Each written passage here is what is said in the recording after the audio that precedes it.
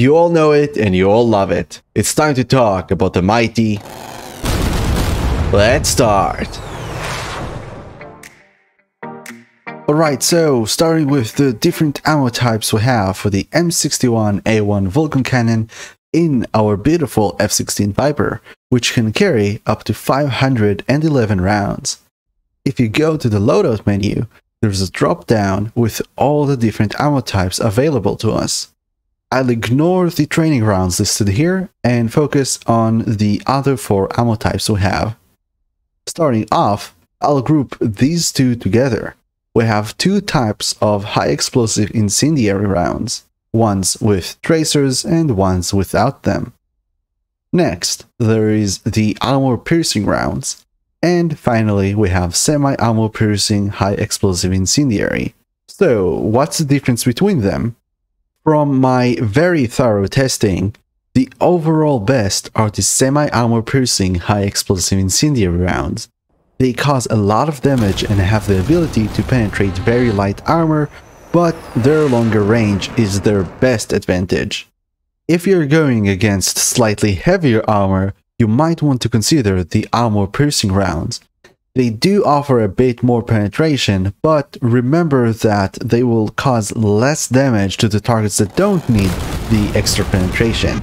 And even when the penetration is needed, I would really recommend against using the Vulcan cannon on anything more than trucks, jeeps, and very light APCs or IFVs, as you can end up wasting most, if not all, of your rounds on a single target.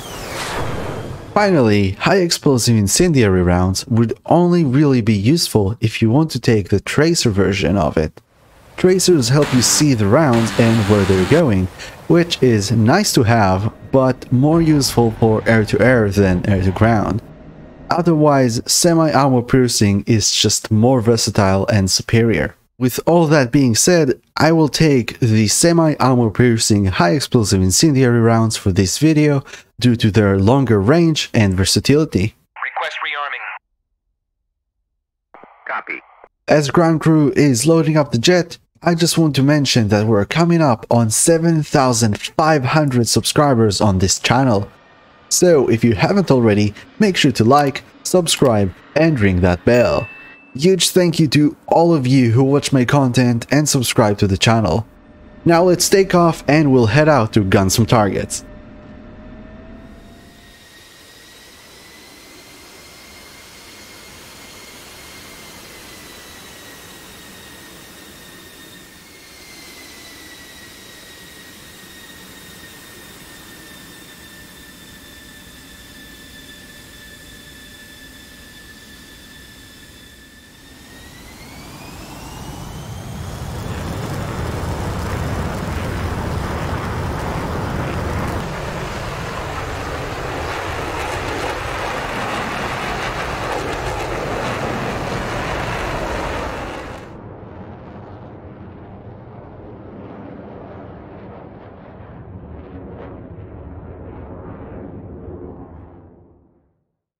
Alright, now it's time for a very quick control setup.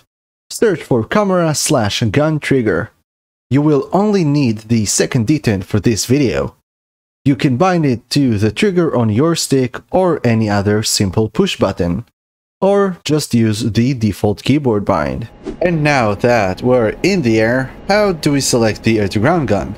First, set the master arm switch to arm go into the air to ground mode and on the SMS page top left side click on air to ground and you will see the gun selected in STRF or strafe mode. Strafe is essentially a CCIP or constantly computed impact point mode which means that all you basically have to do is put the center of the reticle on the HUD on the target and fire when in range. Next, on the top right of the SMS page, we have the quantity of rounds remaining, and this only shows the first two digits of the entire number. As I mentioned, the Viper can carry up to 511 rounds. So, first two digits would be 5-1. If, for example, I started shooting and I had 485 left, it would show 4-8. It will always only show the first two digits. There's no way to see the last digit. And next is the only option that we can actually change, which is the slant range. You can think of the slant range as an indication on the reticle for when you are inside your desired range that you want to start shooting at. This is indicated by this small dot on the outside of the reticle. The maximum range of the gun on the F-16 with the semi-armor piercing high explosive incendiary rounds is between 10 to 12,000 feet and for the high explosive incendiary and armor piercing rounds it is around 8,000 feet. Remember that 6,000 feet is about 1 nautical mile. Just because those are the maximum ranges does not mean that you want to start shooting when you reach them. In reality, you want to start shooting below those maximum ranges. I would recommend around 6 to 8,000 feet for the semi-armor piercing high explosive incendiary rounds and around 4 to maybe 6,000 feet with the high explosive incendiary or armor piercing rounds. I'll set it to something in between, which will be 7,000. Now I want to slightly declutter the HUD from all the mess that's going on here by moving this switch all the way down and this one to the middle position.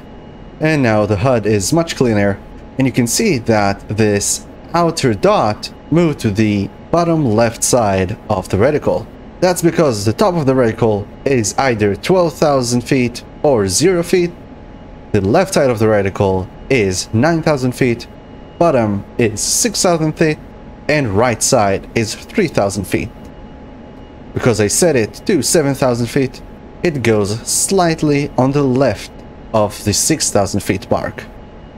Now on the inside of the reticle there is this small line here which is showing you your current range. Once this small line passes the slant range dot that we set, there will be an indication on the reticle that tells you that you're inside that slant range that you set. And you'll see that indication in just a minute. You can see that the current range Q is slightly moving because the ground is going up and down and slightly changing, which means that the range to that point is changing. You'll also see on the bottom right side of the HUD the current range to where the reticle is pointing, which as you can see is 8.6 nautical miles right now. And now that you know all the symbology and options, we can move on to start firing the gun. Now all that's left to do will happen very quickly, but it's all fairly simple. I have some targets right in front of this steer point down there, so I'll start diving onto them. Also drop the throttle to not get too fast. And as I said, all I really have to do is just put the reticle on them.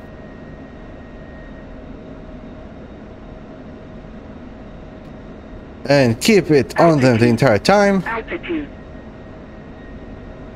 And here is the indication that I'm within the slant range that I set. And start shooting. Guns, guns, guns.